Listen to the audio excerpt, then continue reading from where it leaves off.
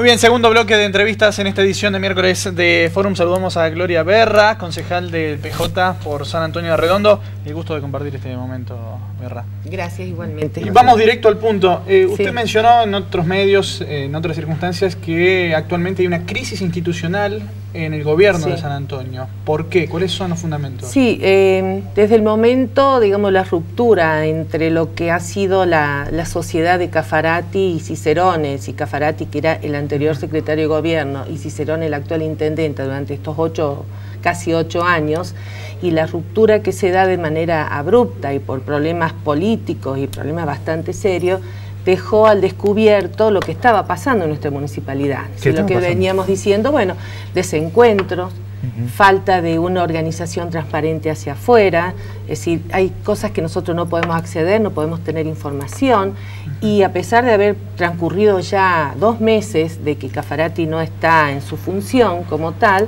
eh, no vemos un cambio positivo en San Antonio de Redondo, más allá que en esa instancia o a partir del momento en que se produce esta ruptura política, eh, la estructura del partido de la Unión Cívica Radical como tal ingresa al, a nuestro municipio a manejarlo.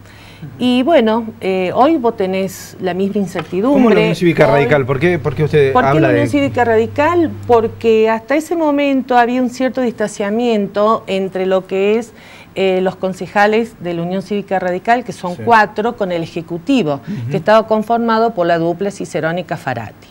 Producto de esa crisis empieza, bueno, a haber todo un, cambio de actitud donde este, se hace de nuevo un acercamiento entre ellos y donde el presidente del partido, eh, Grigione, ingresa al municipio como asesor y a manejar, digamos, más allá que está Sebastián Flores como secretario de gobierno, a manejar la municipalidad.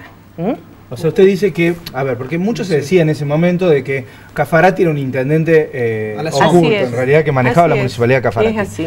Hoy usted dice que el lugar que tenía Cafarati lo tiene Grigiones, que Patricia Cicerone sigue siendo la figura arriba. Eh, Patricia Cicerone es la intendenta, obviamente ha sido votada por el pueblo, hay que respetarlo como tal, pero desde el punto de vista de lo que es el manejo, la administración y la toma de decisiones, no la tiene totalmente ella.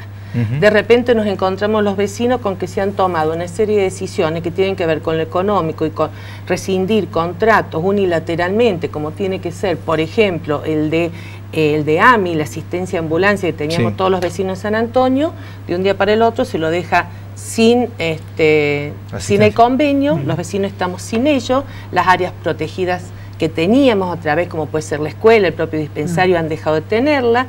Si bien nos han dicho ahora que tenemos la ambulancia que está con sede en Mayuzumag, es una ambulancia que es para todas las comunas del sur, que tiene que asistir si hay algún problema en la ruta, algún accidente.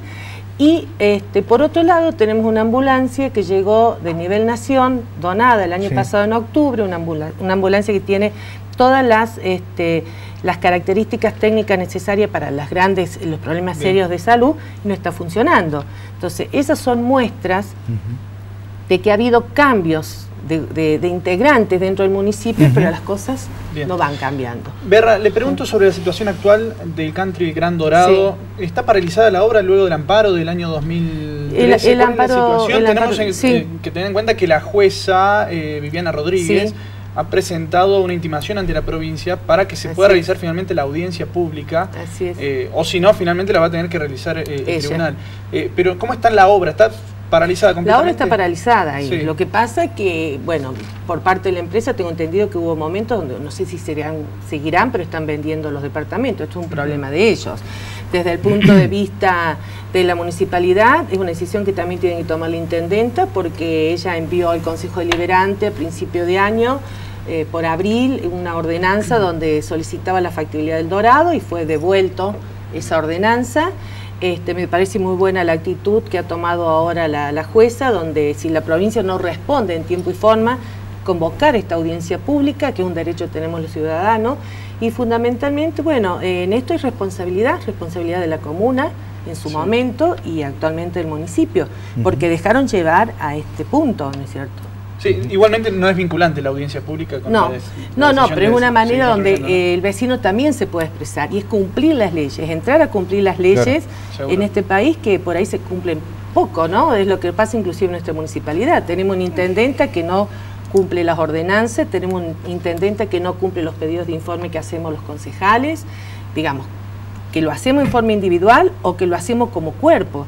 Y cuando lo hacemos como cuerpo, que va con el apoyo de los siete concejales, eso ya por ley tiene que respondernos a los informes que pedimos. Uno de los informes es sobre el tema del Gran Dorado, porque tenemos una consultora ambiental que es Ámbar, que hizo un informe en relación a su opinión de este eh, eh, como es de esta construcción de gama, y todavía no lo ha dado a conocer.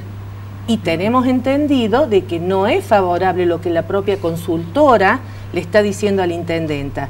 Entonces, hay muchas cosas oscuras, por eso digo, seguimos igual en San Antonio de ¿Cuál es su pretensión con respecto a este, a este perdón, a, la consulta popular? ¿Que se haga este año? Yo creo que se tiene que hacer, que se tiene que hacer lo más rápido posible, que permita, sí, que se le permita a la justicia que avance como corresponda, que estén los mecanismos este, democráticos donde se pueda participar y que tengamos toda la tranquilidad de que estamos haciendo las cosas bien. En el caso de que se haga esta consulta, ¿ustedes irían detrás de alguna de las posturas?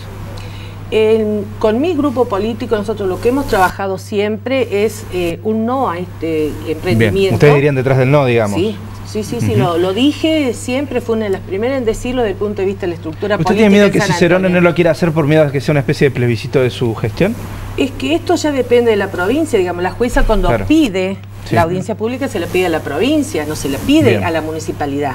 Lo que pasa es que hay cosas que se mezclan, porque la municipalidad para mí es la primer responsable cuando da la prefactibilidad a un proyecto que no, no está contemplado el tema de propiedad horizontal dentro de nuestro código de edificación y que está dentro de una reserva que es la Reserva de Valle del Cóndor. Bueno, pero el estudio ambiental dio positivo. sí, pero son estudios ambientales que si, si, hay, si se revé o algo, ese propio estudio puede caer. Pero de cualquier manera, aunque las estructuras de provincia hayan dicho que sí, favorable, ya sea el tratamiento de los líquidos cloacales, el tema del agua, el tema este, de lo que está diciendo de la evaluación de impacto ambiental, quien tiene la facultad final de decir que sí o que no es el intendente. Por lo tanto, esto digamos, el, entramos en un cuello de botella donde la responsabilidad la va a tener Cicerone. Y creo que allí está el problema, porque se estuvo dando siempre paso a que esto fuera avanzando y que hoy estemos en esta situación, sin poder discutir en San Antonio de Redondo, realmente. Un este, lo que sería un ordenamiento territorial, mejor dicho, ordenamiento, porque no tenemos nada, donde tendríamos que estar nosotros allí trabajando en lo que queremos para nuestro lugar. Berra, por último, al menos de mi parte, Santi, eh, Sabemos que la ciudad de San Antonio pasó a ser ciudad justamente en la gestión anterior de Cicerone y podría ella presentarse nuevamente como candidata para intendente. Sí, sí, se puede presentarlo más bien porque...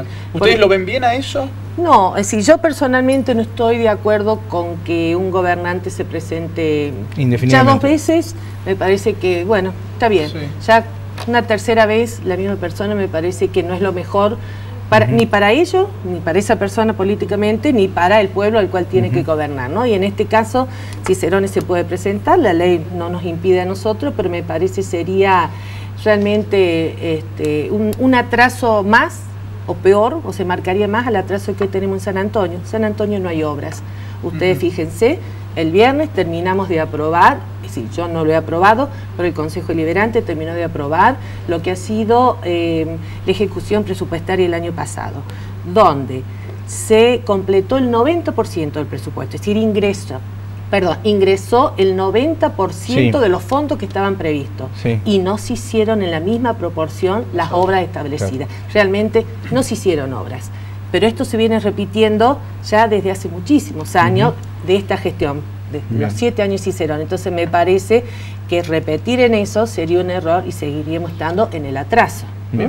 Gloria, este, nos hemos quedado ya sin tiempo, tenemos un, programa muy completo, pero ha sido muy claro en sus conceptos, la verdad le agradecemos que se, haya acercado hasta aquí. Yo le agradezco a ustedes. Bueno.